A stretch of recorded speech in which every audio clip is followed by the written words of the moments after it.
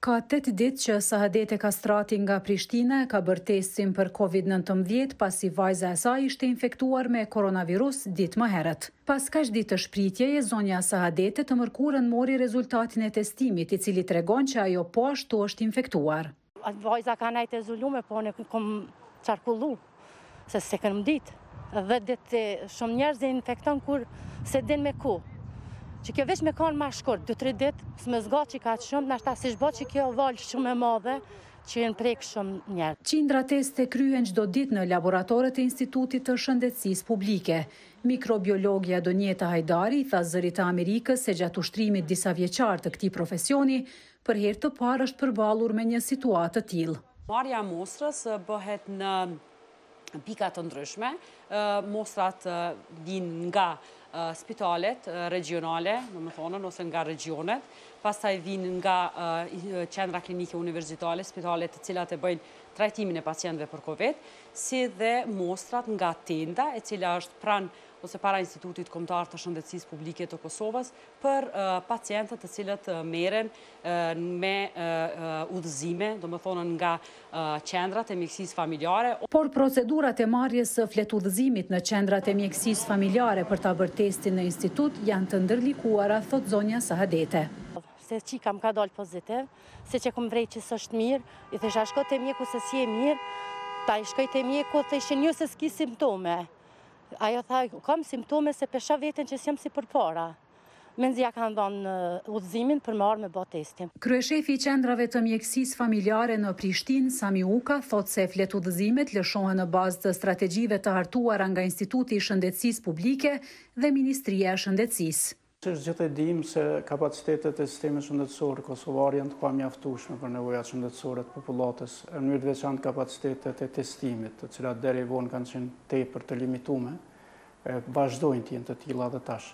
Në këtë kontekst ne jemi të detyrum, që në koordinim me Institutin Kombëtar të Shëndetit Publik, edhe me Ministrinë e Shëndetësisë, të krijojmë një lloj strategjie dhe qasje standarde në lidhje me atë se kush duhet të testohet e kush jo.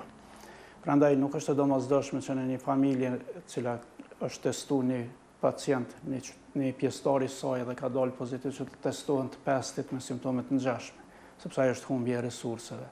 Edhe sistemi shëndetësor kosovar për këto 20 vite, ma shumë se gjithçka tjetër,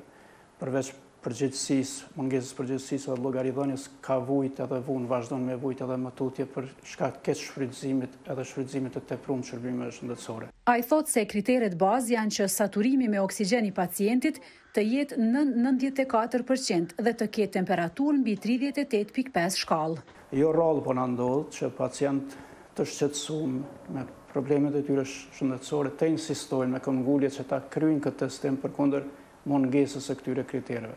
Kjo po na vendos në pozitë shumë të palakmushme sepse ne jemi mes kudrës dhe çekanit, sepse në njërën anë e kemi kufizimin e imponun prej Institutit Kombëtar të Shëndetit Publik e Ministrisë së Shëndetësisë që nuk duhet të dërgojmë secilin që kërkon,